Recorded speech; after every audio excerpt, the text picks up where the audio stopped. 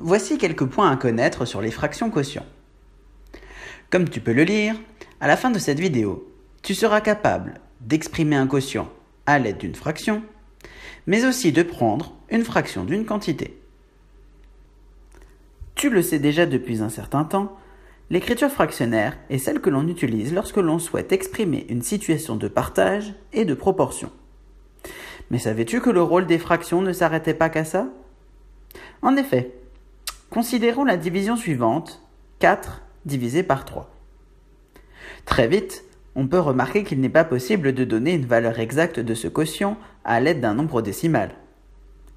Il faut donc utiliser de nouveaux nombres.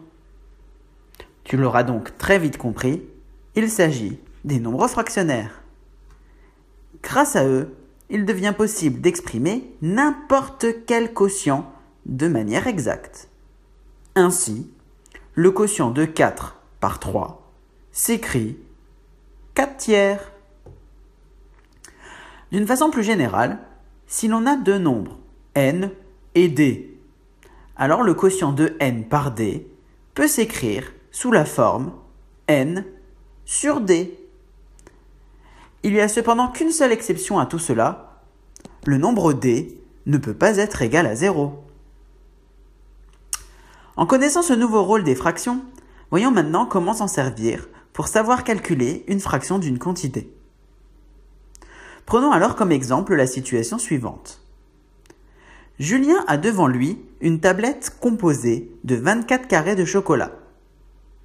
Très gourmand, il décide d'en manger les 3 huitièmes. Combien de carrés va-t-il manger?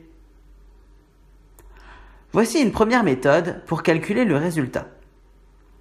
Prendre 3 huitièmes des 24 carrés de chocolat revient à prendre 3 fois 1 huitième des 24 carrés. On va donc partager ces 24 carrés en 8 parts égales, puis en prendre 3. Cela se traduit donc par l'opération suivante. 24 carrés multiplié par 3 huitièmes, qui donne donc 24 carrés divisé par 8, puis le tout multiplié par 3. Et ainsi, on a 3 carrés multiplié par 3, ce qui nous donne 9 carrés. En considérant la situation d'une autre façon, on peut calculer le résultat avec une deuxième méthode. 3 huitièmes correspond à un partage de 3 unités en 8 parts égales. On va donc d'abord prendre 3 fois les 24 carrés de chocolat avant de partager le tout en 8 parts égales. On obtient alors l'opération suivante. 24 carrés multiplié par 3 huitièmes donne 24 carrés multiplié par 3, puis le tout divisé par 8. D'où 72 carrés divisé par 8, ce qui donne aussi 9 carrés. Évidemment, le nouveau rôle de la fraction quotient ne peut que nous permettre d'avoir une troisième méthode. Eh oui, le nombre 3 huitièmes exprime aussi le quotient de 3 par 8. Il est donc possible de passer par une écriture décimale pour calculer les 3 huitièmes des 24 carrés. Ainsi, l'opération 24 carrés multiplié par 3 huitièmes peut se calculer comme 24 carrés multiplié par le résultat de 3 divisé par 8. Cela donne donc 24 carrés multiplié par 0,375, ce qui donne encore une fois 9 carrés. On retrouve bien toujours le même résultat. Néanmoins, cette dernière méthode n'est pas toujours aussi efficace, car, comme tu le sais, certaines fractions n'ont pas de valeurs décimales exactes. Il faudra alors utiliser l'une des deux premières méthodes, sous peine de n'avoir qu'une valeur approchée du résultat.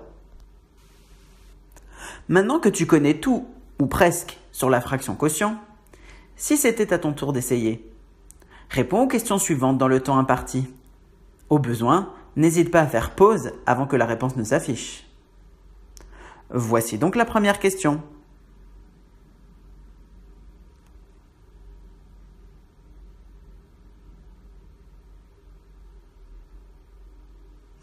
Place à la réponse.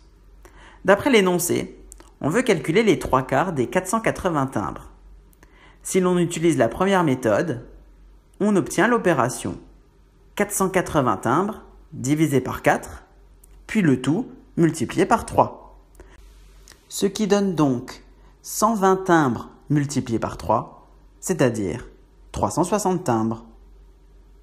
David a donc vendu 360 timbres de sa collection. Et voilà la deuxième question.